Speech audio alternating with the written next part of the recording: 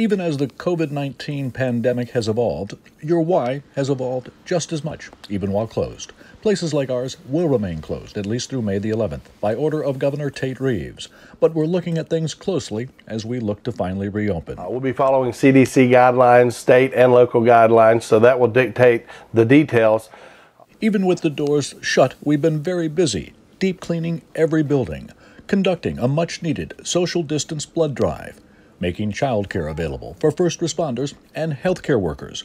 We're also providing preschoolers with grab and go meals delivering birthday greetings to our beloved seniors, and handing out goodie bags to those same seniors.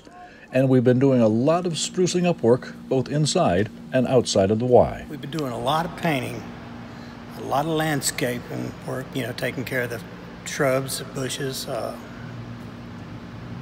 changing out the flower beds, uh, painting walls, pool deck. Uh, you see the pool lip of the you know, the edge of the pool. They've painted that.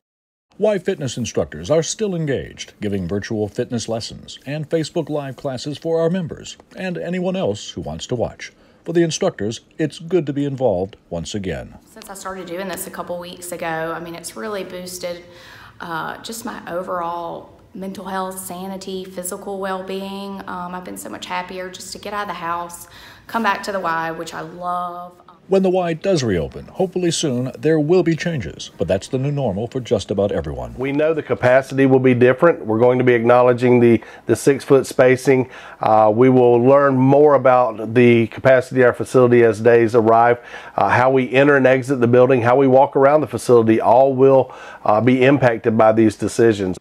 And we have a very heartfelt message for all of our members. We understand for those who had to uh, take a break, we, we understand that, and we hope they'll come back as this resolves.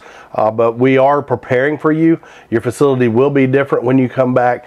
Uh, we want to make sure we're safe when you arrive, but we're so thankful for those who have stuck with us, and I continue to appreciate their support. Doug Walker, reporting for our YMCA.